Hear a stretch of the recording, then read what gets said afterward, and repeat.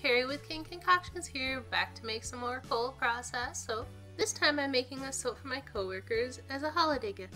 So let's jump right into it. Here I'm adding the lye water to the boils. This is a very large batch. This is actually being made in my multi loaf mold. Just stick blending it all together.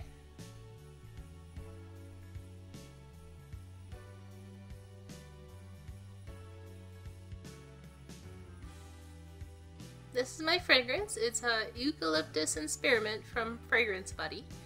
And I've used this fragrance several times in the past and never had it rice, but it riced quite a lot in this batch um, in big thick chunks, which was very odd. So I'm going to give it another blend. Um, but this kind of cascaded into changing my entire design.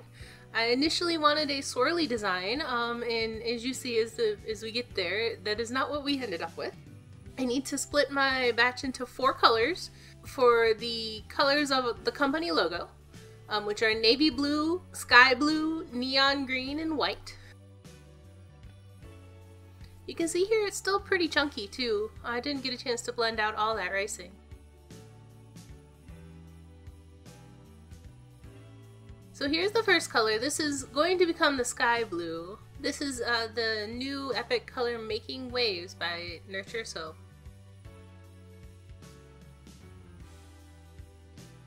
Adding a little bit of titanium dioxide, maybe like a tablespoon here, just to lighten it up to a sky blue. I thought it was too dark in the bowl. That bottle of titanium dioxide is actually using a technique from I Dream of Soap where she teaches you how to, to pre-disperse titanium dioxide in oil so that you don't actually have to stick blend in the titanium dioxide.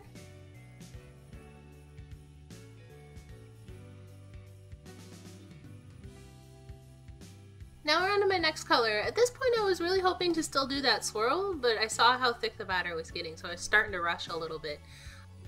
This is Force of Nature by Nurture Soap. It's part of the Epic collection as well.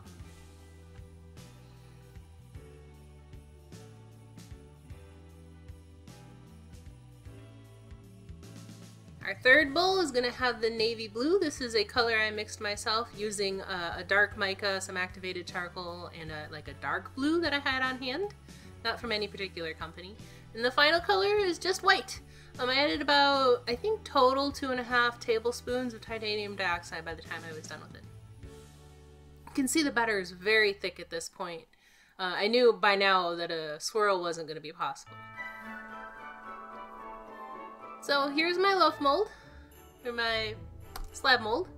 And in the bottom first goes the, the navy blue soap, you, or the navy blue bowl. You can see how thick it is. It is easily pipeable consistency at this point, so now I'm really rushing to try and get some soap in the mold to have some to some ability to save this batch.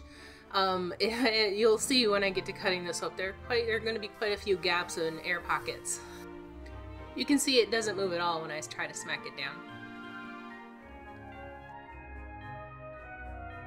The second layer is a lighter blue. I thought it would match well with the dark blue. Uh, now I'm just trying to, to get it in here as layers um, and smoothing it as best as I possibly can. But I, I at this point I knew what I ended up with is what I ended up with.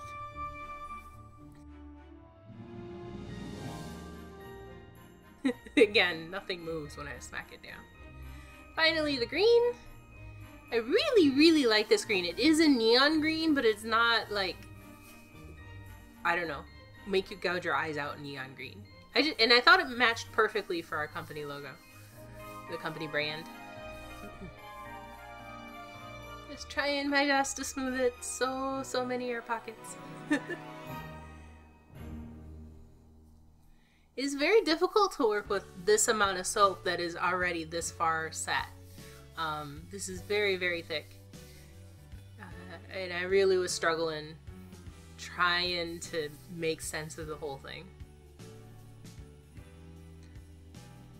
Lastly, we're sticking the white on top. And at this point, I've completely forgotten I'm recording. Uh, I was just trying to get the soap in the mold trying to save the batch because that's quite a lot of oils and lye and, and, fragrance oil. I've used this fragrance oil at least twice in the past and never had any trouble with it. Um, my oils were significantly warmer than normal though. I was trying to make the perfect batch since it was for my coworkers. Uh, and that may have had, played a factor into how quickly it sped up on me.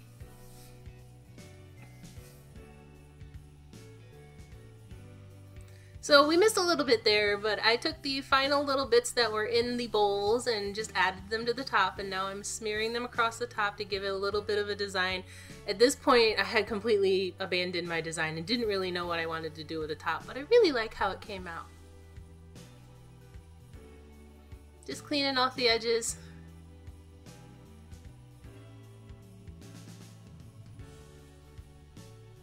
And giving you a look at all the angles.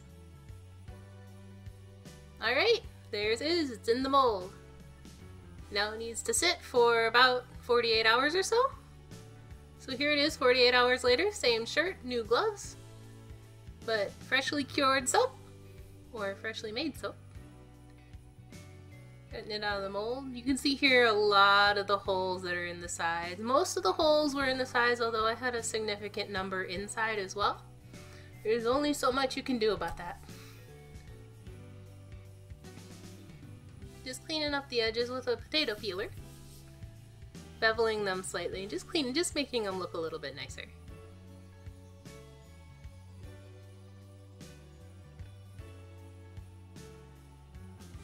Alright, time to split it into loaves.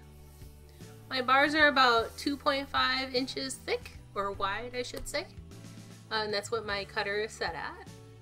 Or, sorry, my log splitter is set at loaf splitter, slab splitter. I don't know what we're calling this this device. Uh, in hindsight, I would have I would have recorded this at a different angle. Uh, I know now better for the future. That was the first loaf. Now we're cutting the second loaf. I believe I cut both ends or both sides. Uh, and the center one here on top is the the smack middle of the mold.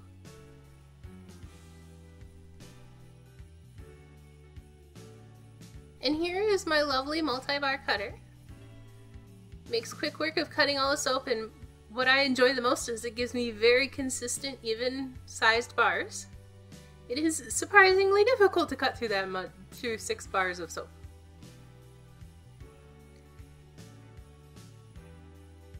And here's the finished bar. You can see there we've got a little bit of holes. There's only so much I could do. Uh, we also have a significant number of glycerin rivers. Uh, I'm, I'm assuming because this was such a large amount, you know, of soap that it overheated a little because um, it was already kind of warm as part of the acceleration. Anyways, um, that is the soap that I made for my coworkers. Thank you so much for watching, and I'll see you in another video.